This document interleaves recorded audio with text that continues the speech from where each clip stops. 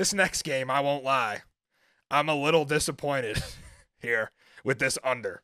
I have a bone to pick with this game. This is the last time, guys, I take an Orlando under.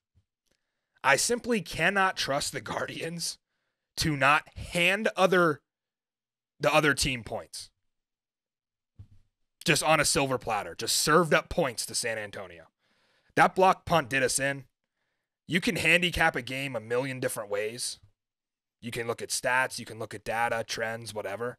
You cannot account for plays like that block punt. You take that moment away, we cash, but it's irrelevant. It does not matter because special teams are part of the game. So we lost that bet because I didn't factor in special teams. Just a bad play on my part.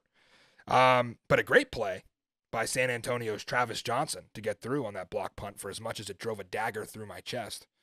Tough way to lose that one. But before you Brahmas fans jump down my neck here for me saying I counted you out, I didn't trust the Jamie Elizondo offense, remember who you played. Disclaimer a win against Orlando will not affect your standings in our XFL power poll.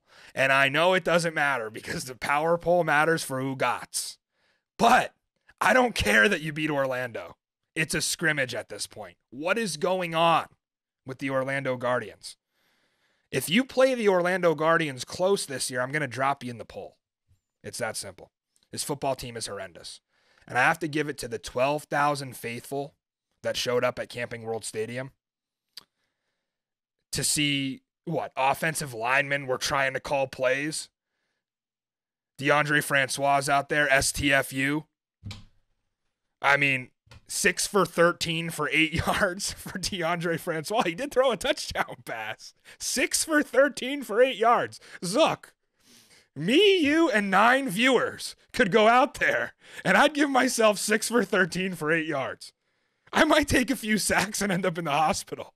How do you complete six passes for eight yards? I just, if you were a fan at this game, major respect. You are the true diehards that we need. I hope that your commitment will never waver, even when the Guardians do go winless. Uh, I said Jack Coan would have a chance to look better, and he did. Of course, he did. Uh, Brandon Silvers also looked good against this defense, and he took a little bit of a step back, I thought, in our next game coming up. So that's something to keep an eye on. Is it just Orlando's defense is that bad? I thought their run defense held up, by the way. I think San Antonio only, what, 2.5 yards per carry? Ballage and Patrick both held to like under 20 yards rushing. So the tight end play is what stood out to me for San Antonio. Uh, Alize Mack and Deon Yelder, both with a score. Uh, non existent running game, like we mentioned. Um, we knew that San Antonio offensive line was kind of in shambles going in, so I think they can get that fixed and have a better rushing attack going forward. But they found a way to win. And to quote Terrell Buckley, when asked if there were any silver linings in this game for Orlando, no. Nothing. I think T Buck's days are numbered in Orlando. Because remember, guys, fans here, what are they used to?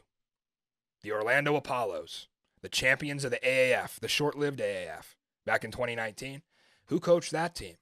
Oh, yeah, Steve Spurrier. A higher standard for football in Orlando. And I don't want to react, like overreact, I should say, to the San Antonio win. I have to give credit where it's due, though. This is still not a playoff team, guys. And if they can prove me wrong in Houston on Sunday night, I'll be shocked. But I don't think San Antonio is built to make this run at the playoffs. I think people will overreact and I think people will place them higher in the power rankings. But remember, Houston did the same exact thing to Orlando. So don't overreact. You still have things to clean up. It was a good showing from Coan. Do we see Reid Sinnett at any point in the San Antonio offense? You saw him on the sidelines. Him and Coan seem to have a good relationship. Coan leading the league in completion percentage. Have to give him that. I just don't see how you only go for like under 40 yards on the ground against an Orlando team that just does not have the capability to really stop much of anything. I mean, you you had almost 100 rushing yards against St. Louis. Where was the run? They they were just stuffed up front.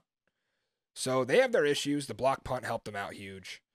Uh, Jack Coan, I think, will settle in a little bit, but that Houston game coming up on Sunday, we'll have a full preview for uh, the Thursday show, but that's going to be tough. I think opening line was four and a half. Houston favored by. So San Antonio getting a little credit. I think Arlington was also four and a half point dogs at Houston. So shows you that the sports books view the week three version of Hines Ward's Brahmas the same way they might view the week two version of the Renegades. So promising, but I just I don't want to overreact to this. I think that a win against Orlando should not hold any weight at this point.